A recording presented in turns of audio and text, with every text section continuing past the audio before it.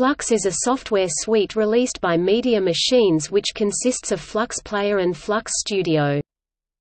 Flux Player is a VRML, X3D viewer that works both as plug-in in Internet Explorer, and as a standalone program in Windows. Flux Studio is a VRML, X3D editor that works in Windows. Both programs supports Windows ME, 2000 and higher. Flux Player and Flux Studio are freely downloadable for any usage under a proprietary Flux Player and Flux Studio license. Flux software is developed by Tony Parisi, who co-worked with Mark Pesce on the development of the experimental VRML prototype called Labyrinth. Flux Studio can successfully import and export asterisk, WRL, asterisk, X3DV and asterisk, X3D files.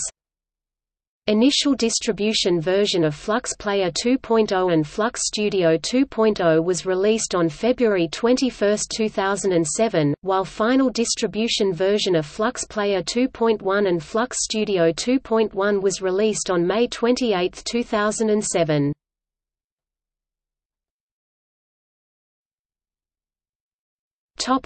Acquisitions